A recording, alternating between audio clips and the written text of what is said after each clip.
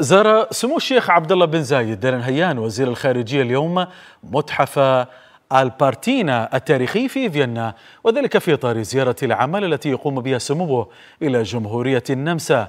رافق سموه خلال الزيارة معالي الكسندر شلامبرغ وزير خارجية النمسا بحضور سعادة سعيد مبارك الهاجري مساعد وزير الخارجية للشؤون الاقتصادية والتجارية وسعادة حمد الكعبي سفير الدولة لدى جمهورية النمسا الاتحادية. وطلع سمو الشيخ عبد الله بن زايد على أقسام المتحف ومعروضاته المتنوعة حيث يضم نحو 65 ألف لوحة فنية بالإضافة إلى العديد من المعارض الفنية المؤقتة والمطبوعات النادرة والرسومات المعمارية.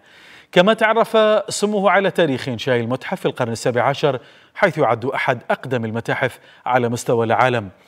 وأشاد سمو الشيخ عبد الله بن زايد دار نهيان بمتحف البارتينا التاريخي في فيينا مؤكدا أنه يعكس تنوع والثراء الثقافي في النمسا كما يجسد قيم التسامح والتعايش الراسخة في المجتمع النمساوي. وأشار سموه إلى أهمية تعزيز التعاون بين دولة الإمارات والنمسا في القطاع الثقافي والفني وذلك في إطار الشراكة الاستراتيجية الشاملة بين البلدين معربا عن تمنية للنمسا صديق وشعبها دوام التقدم والازدهار.